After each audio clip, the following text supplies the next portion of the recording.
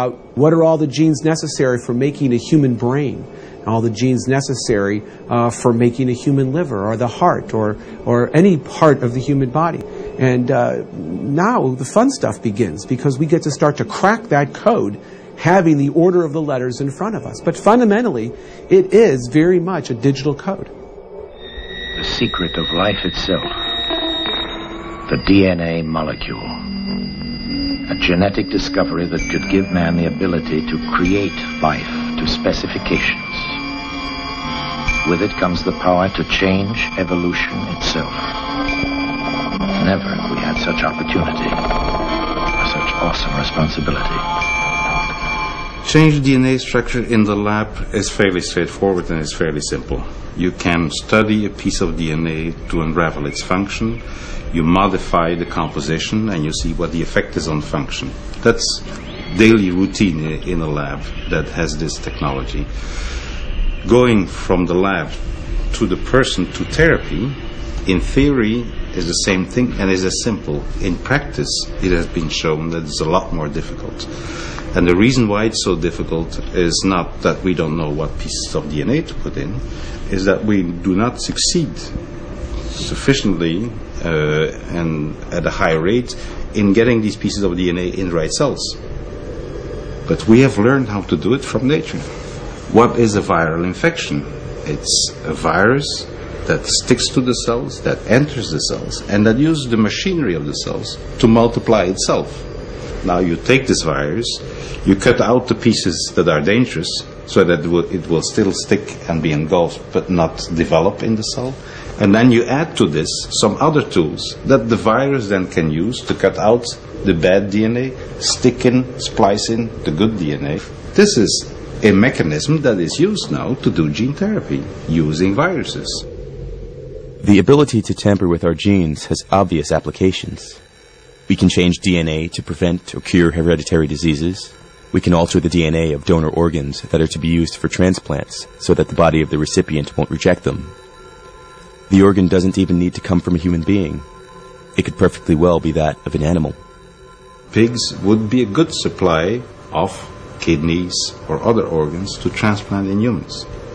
But because of the difference between the, the two, the two species, the pig kidney or the pig liver will be rejected by the human. So if we can humanize the pig kidney by putting in some human DNA, which will make the cells uh, look a little, a little bit more human, so that they are not rejected uh, by the person immediately, then there's a better chance that you'll have a take. And this is tried to humanize uh, animal tissues, and it's becoming a big industry because we need more organs.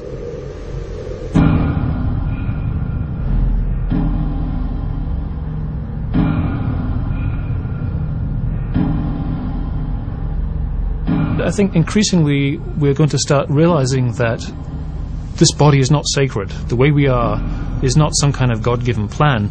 It's really a pure random accident. We take two sets of genes and we shuffle them, and something comes out. Sometimes it's a wonderful product, sometimes it has a hole in the heart, sometimes it has psychosis or uh, tendencies towards you know, extreme anger, uh, has addictive problems, can't concentrate, all kinds of defects.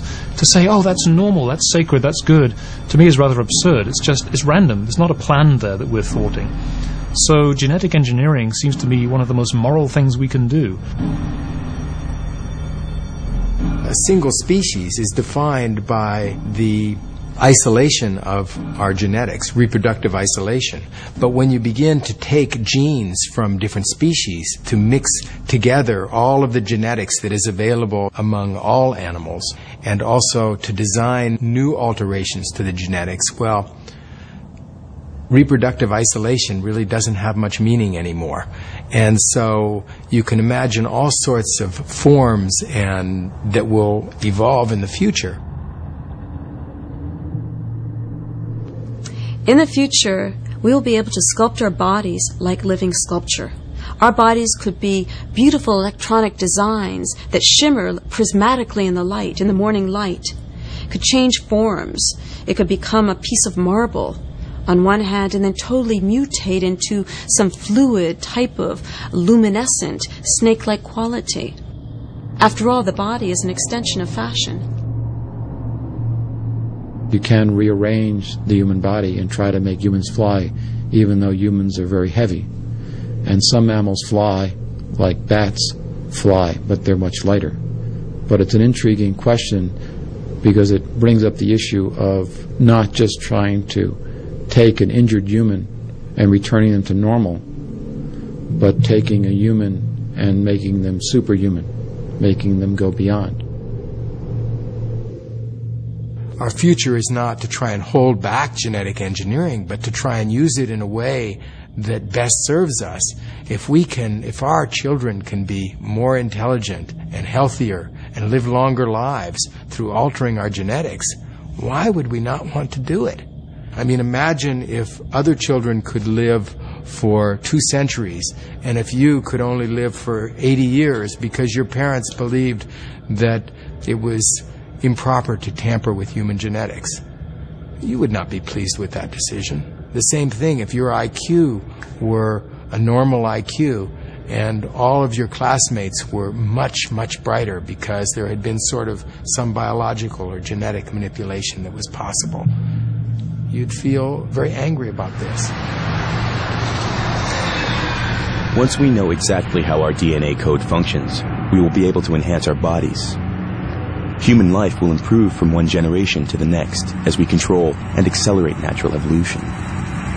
But a rival to mankind is appearing on the horizon, a rival that is evolving much faster. Becoming obsolete? A giant electronic brain has started cogitating at the University of Pennsylvania. It's made of vacuum tubes like your radio, and it can add up a column of figures a yard long in a second. It's the world's first electronic computer. Right now, it's solving mathematical problems for the U.S. Army, but who knows? Someday a machine like this may check up on your income tax. So imagine the, the human abilities as kind of a landscape with some peaks, which, which are which are the things we do well, and some valleys, which are the things we do really, really badly. There are things that we do extremely well, which are things that were important in our survival for, for most of our evolutionary history, things like moving around and socially interacting and, and perceiving the world.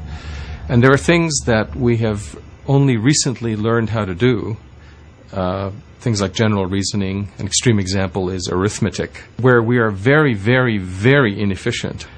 Computers are different. They are universal machines. Uh, with an efficient program, they can do almost any one of these tasks equally well in, in some abstract uh, informational sense.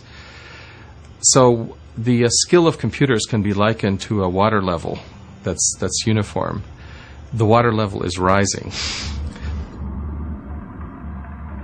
And it's rising at a rate that is about 10 million times faster than the rate at which we evolved those abilities. That and a, and a number of other calculations lead me to believe that uh, the highest peaks will be covered by this rising flood in less than 50 years. But once the level of computer competence has risen beyond uh, the best engin- the best human engineers, then there won't be any human engineers. There will be uh, robotic or computer engineers.